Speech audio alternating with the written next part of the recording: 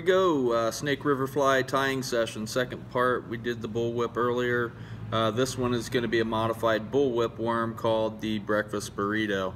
Uh, same hook, worm hook, Mustad 37160. I like size 6s and 8s. I'm going to also use, uh, besides the bullwhip leather available at Snake River Fly, I'm also going to use McFly foam in this chartreuse color and put a little bit of pink in with it and it creates the egg pattern.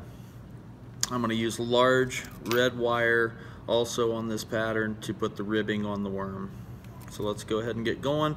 I prefer to use a 210 thread, something a little bit stronger. The leather's pretty tough and it takes a little bit of pressure to tie it down. I'm going to start the thread in front of the apex of the bend on the top between there and the eye.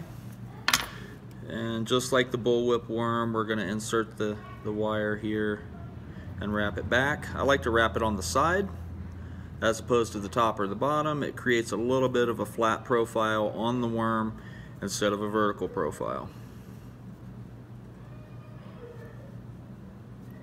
So I'm going to wrap that, secure that down, uh, try to cover the hook pretty decently as you won't get a, too much of a chance to go back and color up color the open spots. I'm also going to take my thread wraps all the way down parallel to where the eye is. So you've got your eye, run a line across and hit that spot right there. I've pre-cut some leather strips, bullwhip leather here. This one is pink. We're going to attach that, leaving uh, the end to hang over um, a little over a centimeter there, not quite an inch. And I'll begin wrapping my thread putting uh, some segments in here, a couple wraps to start the leather. Once again, you're just trying to hold it down with the thread wraps, and then we're going to secure it during part two with the, the wire. So as I wrap up towards the eye of the hook, I'm putting some segmentation with the thread. Just one wrap is enough to do it. And when I get to the top of the hook, you can you can see the segments I've put in there. When I get to the top of the hook, I'm going to put one additional thread wrap, open this up, and we're going to insert our egg right there. For the egg pattern, I've already cut a couple uh, pieces of McFly foam. I just kind of form a pigs in the blanket with that interior color. Kind of sandwich it in there. And then I'll make that spot available where I want the egg to go. Put a couple really solid wraps right there. Try to make sure they go in the same spot. Then I'm going to pull that egg off to the side, egg yarn. Secure my thread there and go ahead and cut the egg out.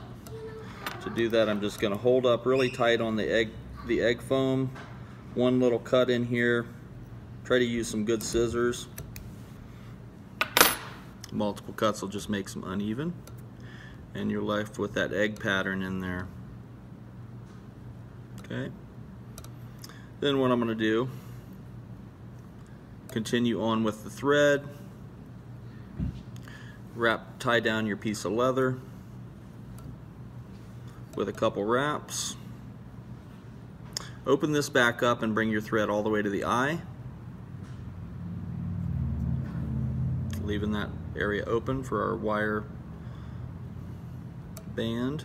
And then I'm going to start wrapping the large wire up through the worm following the pattern that I created with my thread.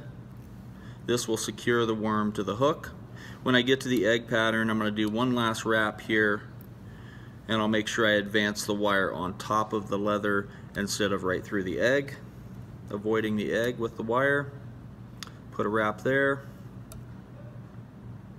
And then I'm going to open up this leather and create the hot spot or the sex band on the worm. Also adds a little bit of weight to this portion of the, the fly. Try to make sure those wraps are really close to each other.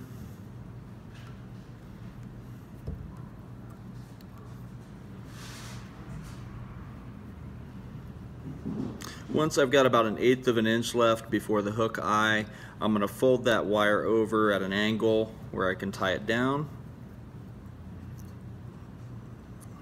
Make sure it's tied down well, six to 10 wraps, and then you can work that wire out of there. Should break off pretty easily. A couple more wraps to make sure I've tied down any sharp spots. and then I'm going to fold down the forward part of the worm right behind the eye A couple wraps and then a whip finish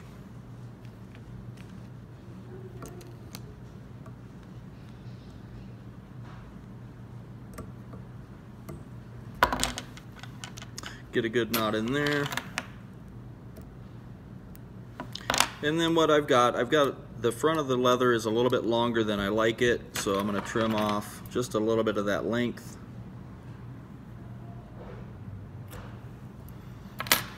And make it just a little more scaled to the rear. Usually like a little more length on the back end than I have on the front. You can make sure that egg fits in there if you want to trim it up and kind of get it off some of the sides you can do that as well